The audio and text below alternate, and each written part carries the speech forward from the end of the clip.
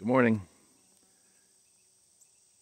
Just out here this morning, uh, I'm feeding the pumpkins. Just using Miracle-Gro again. Um, still not sure if there's anything better out there because I really haven't done a lot of research on it, but basic stuff I've read is Miracle-Gro works pretty good. Just want to give you an update on what's going on here with our pumpkin patch. It is 14th of August, and I just want to give you an update. Some cool stuff. I mean, I wanted to show you here. Got a husband and wife pair there, right?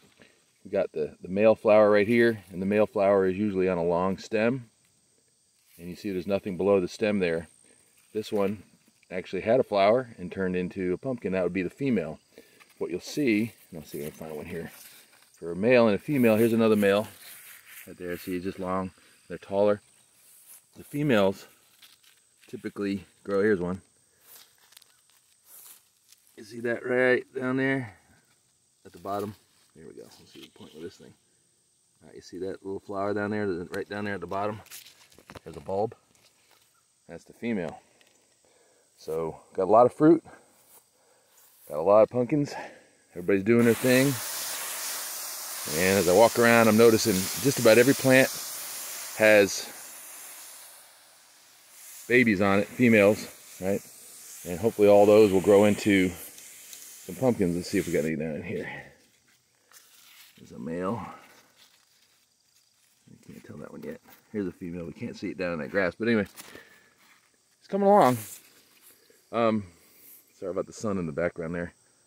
Uh, weeds are bad. Just got out of control. I think next year I'm going to use some uh, weed barrier down just for the rows and then try to do the best I can around the edges.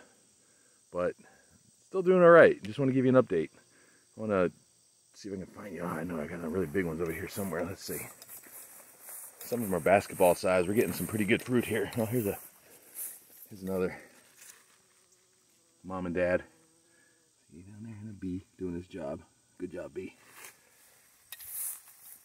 Let's see what we got. Something over here. I know got some pretty good size ones cooking along on these edges.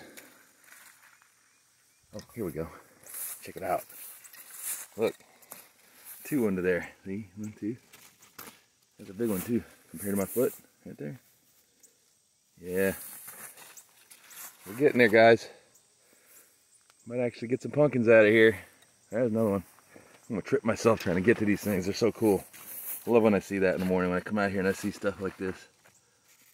That one's pretty good size too. That one's almost the size of a basketball bunch of those. So here we go. We'll keep keep updating you.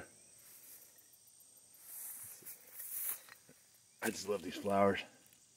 They're beautiful. Anyway, talk to you soon. Later.